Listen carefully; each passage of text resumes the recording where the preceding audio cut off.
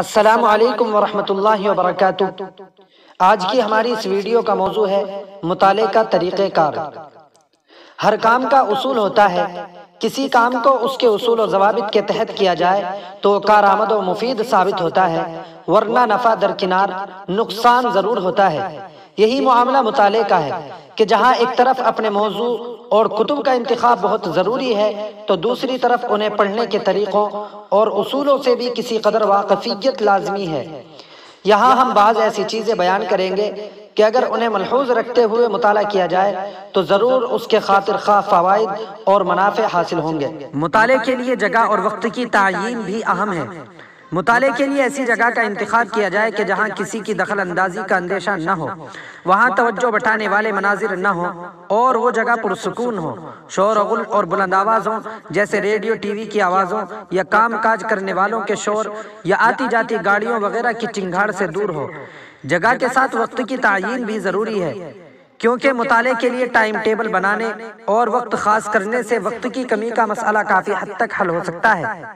مقولہ ہے کہ توزیع الوقت توسیع الوقت یعنی وقت کی درست تقسیم کاری وقت کو وسعت دیتی ہے۔ مصروف ترین شخص بھی مطالعے کے لیے وقت خاص کر کے بہت ساری کتابیں پڑھ سکتا ہے۔ کچھ اوقات ایسے ہیں کہ جن میں مطالعہ زیادہ مفید ہوتا ہے۔ جیسے صبح کا وقت کیونکہ عام طور پر اس وقت نیند کا غلبہ نہیں ہوتا اور ذہن بھی زیادہ کام کرتا ہے اور صبح کے نشاط سے بھرپور اوقات میں زیادہ تر ایسی کتب کا مطالعہ کیا جائے جو گہرے غور و فکر کی متقاضی ہوں۔ بعض حضرات نے غروب آفتاب اور طلوع آفتاب کے اوقات میں مطالعہ کرنے سے منع کیا ہے۔ شاید اس کی وجہ یہ ہو کہ اس وقت روشنی کم ہوتی ہے۔ مبادہ کہیں آنکھوں کو نقصان نہ پہنچے۔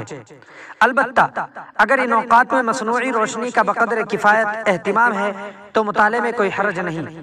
الغرض یہ دونوں چیزیں جگہ اور وقت کی تعین، یکسوئی کے لیے بنیادی حیثیت رکھتی ہیں۔ مطالعے کو طویل عرصے تک ذہن میں محفوظ رکھنے کے لیے مطالعہ ذہنی انہماک، طبیعت کی تر و تازگی اور یکسوئی کے ساتھ کرنا نہایت ضروری ہے۔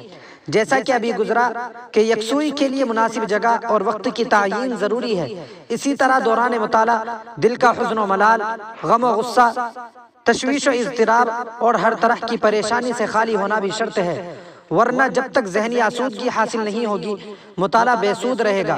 اس کے علاوہ، بھوک، پیاس کی شدت، پاخانہ پیشاب کی شدت، حد سے زیادہ شکم، سیری، نیند کا غلبہ جسمانی تھکاوٹ، آنکھوں میں درد، ٹینشن جلد بازی بے رغبتی بے چینی، کثرت مشاغل اور دیگر الجھنے بھی یکسوئی کو متاثر کرتی ہیں۔ الغرض ہر وہ شے جو یکسوئی ذہنی انہماک اور طبیعت کی تر و تازگی کے منافی ہے، اس سے الگ ہو کر ہی مطالعہ پائیدار، دیرپا اور پختگی کے ساتھ ذہن نشین ہو سکے گا۔ مطالعے کی مقدار کے بجائے کیفیت پر نظر رہنا۔ یہ اچھی بات ہے کہ مطالعہ کثرت کے ساتھ اور کثیر ہو، مگر یہ اسی وقت مفید ہے جبکہ وہ صحیح سمجھ کے ساتھ ذہن میں محفوظ بھی رہے۔ ورنہ کمیت کے بجائے مطالعے کی کیفیت کو مد نظر رکھنا زیادہ اہم ہے۔ یعنی اہم یہ نہیں کہ کتنا پڑھا جائے بلکہ اہم یہ ہے کہ کیا اور کس طرح پڑھا جائے۔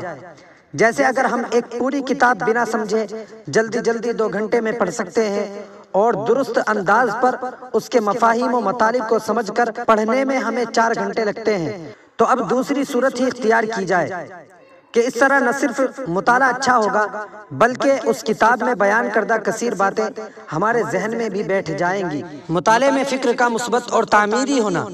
اگر کوئی شخص پہلے ہی سے کوئی منفی سوچ لے کر مطالعہ کرے گا تو اس سے فیضیاب ہونا خام خیالی تو ہو سکتی ہے حقیقت نہیں۔ مطالعے کے لیے لازم ہے کہ انسان ایک اچھی اور مثبت ذہنیت اور تعمیری سوچ رکھتے ہوئے کتب خانی کرے۔ تاکہ اپنے علم کو نئی باتوں اور نئے افکار سے مزین کرے۔ نیز اپنے عمل میں ترقی و اضافے کے ساتھ دوسروں کو بھی اس سے فائدہ پہنچائے۔ ورنہ رفتہ رفتہ تنگ نظری اور اسلاف و اکابر پر تنقید کے جال میں جکڑتا چلا جائے گا۔